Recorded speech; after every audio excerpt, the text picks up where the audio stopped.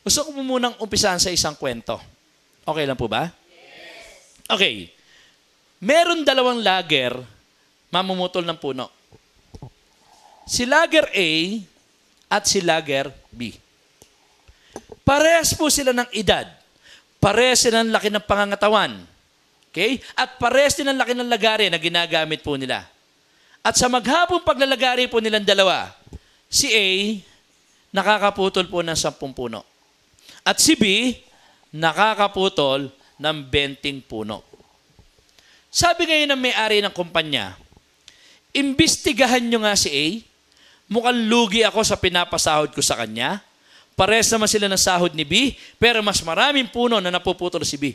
So, imbestigahan niya si A. So, ganun nga po ang ginawa nila. Inimbestigahan nila si A. Si A pala, pumapasok before 8 o'clock. Nagbabandi clock. Teka muna. May bandy clock ba sa gubat? Di bale, kwento lang naman. Lagyan natin ng bandy clock. Tug. Lalagari siya. Alas 10, dapat coffee break. Hindi siya nagbe-break. Lalagari lang siya. Alas 12, siyempre tao rin po yan, nagugutom, lunch break. Kakain siya, pagdating na alauna, lalagari na siya ulit. Alas 3, dapat coffee break ulit. Pero hindi siya nagbe-break, lalagari lang siya. At titigil lang siya pagdating ng alas 5 ng hapon. At sa maghapong paglalagari po niya, nakakaputol siya ng 10 puno. Sabi ng may-ari ng kumpanya, eh masipag naman pala yung taong yan. Hindi nga nagpapahinga.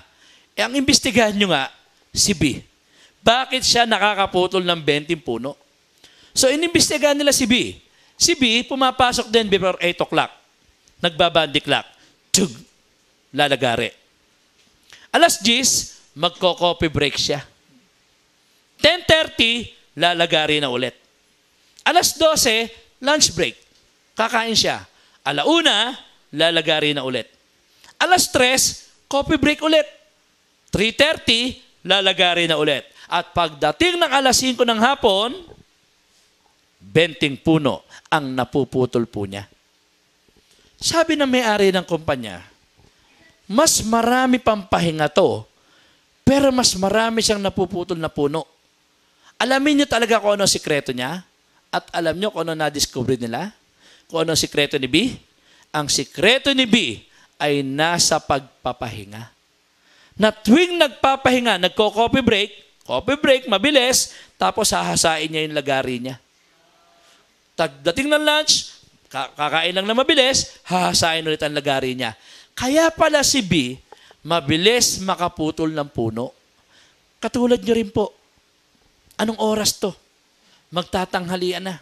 Dapat nasa bahay ka at nagpapahinga at naghahanda ka ng pagkain mo. Pero nasaan ka? Nandito ka at naghahasa ka ng kaalaman mo. Kaya huwag kayong magtaka. Pagdating ng araw, mas marami kang napapasaling tao kaysa sa iba na hindi naghahasa ng kaalaman po nila. Kasi mga ibang dealer, ang mga ibang dealer, hataw lang ng hataw. Hataw dito, hataw doon, hataw, hataw, hataw, hataw, hataw. Bye-bye. Hanggang sa nawala sa negosyong ito. Hindi nila alam ang tamang paghataw.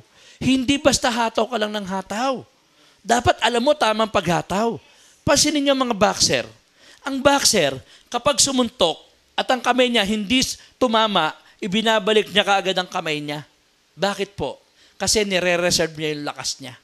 Kasi kung ang suntok ng boxer, pahalihaw lang, ganyan lang, may kalmot pa, may kurot pa. Isang suntok lang ng kalaban, tulog na po yan. Ganon din po tayo. Hindi pwedeng hataw lang ng hataw. Dapat naghahasa kayo ng kaalaman nyo sa negosyo natin na to. Kaya palakpakan nyo sarili nyo kasi si, kayo po si Lager B. Okay?